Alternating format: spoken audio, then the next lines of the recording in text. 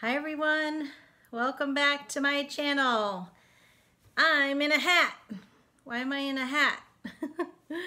this is our Simple Abundance year with Sarah Ban Breathnach's book, Simple Abundance. And you may remember from the April Joyful Simplicities video that she recommended that we try all different kinds of hats this month. She recommended going to a hat store, which my hat store was my coat closet where I have a lot of different hats.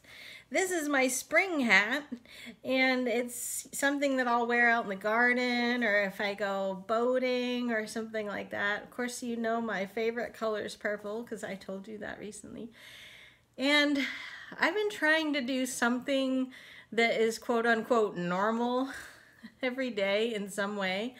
So today, uh, because in regular springtime, I would be getting out this hat and doing some gardening and stuff. I didn't do the gardening part, but I did get my um, bird bath from out of the storage closet and I have a heated bird bath that I use during the, the winter, but now that it's getting to be nicer weather, I got my ceramic really nice decorative one out.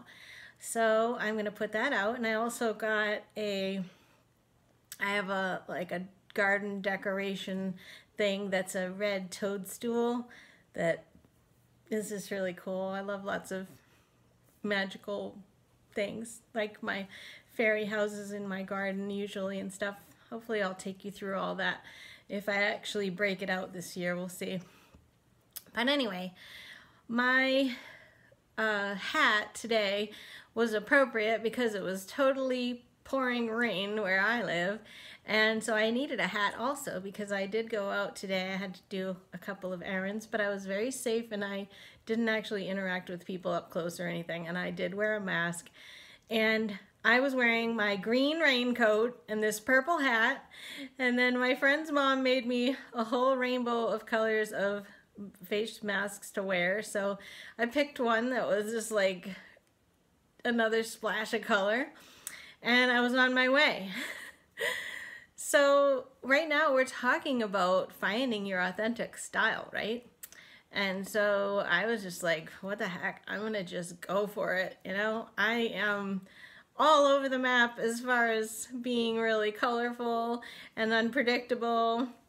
And yeah, a mix of free spirit plus totally high strung. It's like you don't even know what to expect from me. But I was happy in my little purple hat and I thought that I would wear it for you guys tonight. And Sarah's book today is April 9th, and I really like, I don't remember this from reading the book in the past, I really like this suggestion that she has. So she is talking about style in terms of your house. And we talked about color already, right? Going through each room and seeing if you notice various colors have you been noticing colors just in general since we talked about that? Because I definitely have been noticing those things. Um, this is a suggestion from another author that she mentions. Her name is Mary Emmerling.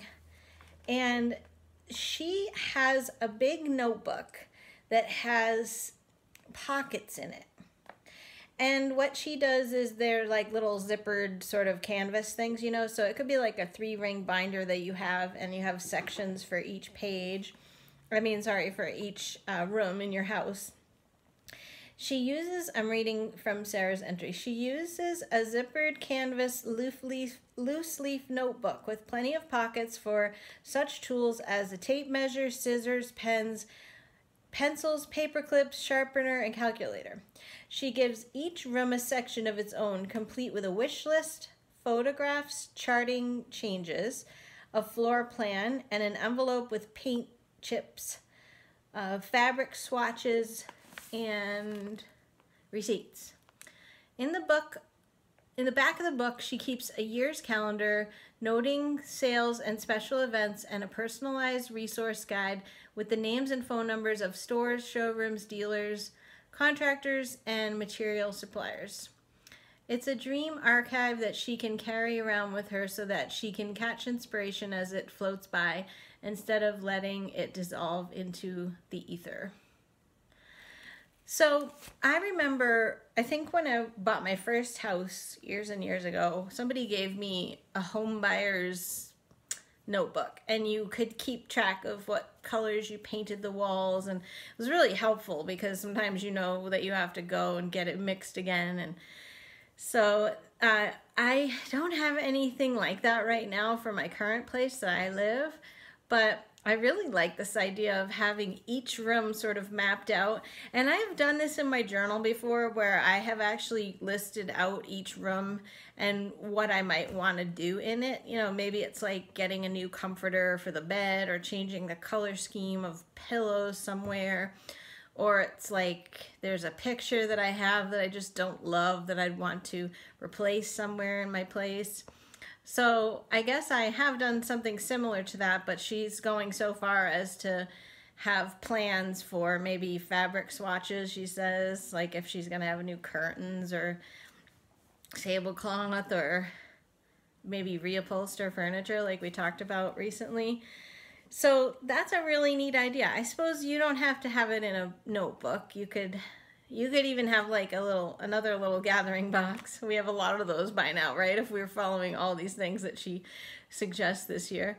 Um, but I think, I think that's a really great idea though, to take each room one at a time and give it its own little page or however you want to do it. Maybe it is a whole section of a notebook. And she sounds like this author even you know, mapped out the room with measurements and everything. You know I love decorating, I told you that. So that that interests me. I I move a lot, so my the most exciting thing that I usually find for moving is getting to redecorate and have like a new floor map. So I should have probably been a designer or something of some kind in that respect to use that that love of mine. So what do you think? You gonna do something like that? Do you already have a little notebook like that? I wonder if you're starting to give a nod to your personal likes and what you may want to change as far as your house goes, colors, bringing bringing more of what you love into your space and into your clothing choices like we said, even down to your hat. Well, it was fun. It really brightened my day to just have my hat on. It's funny how things like that can just bring a smile to your face. And it's such a small little thing. Hope you're finding little things that are putting smile on your face no matter what they are. I just wanted to say hi. I hope you're doing well. Hope to hear from you. And until next time, be well.